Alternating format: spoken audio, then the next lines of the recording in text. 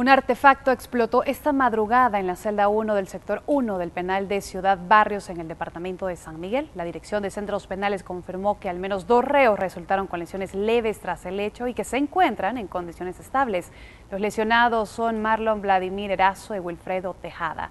Las autoridades realizan a esta hora una investigación sobre el hecho y la unidad de mantenimiento del orden se hizo presente para una revisión completa de la cárcel. Hasta el momento hay cinco pandilleros de realizar este atentado.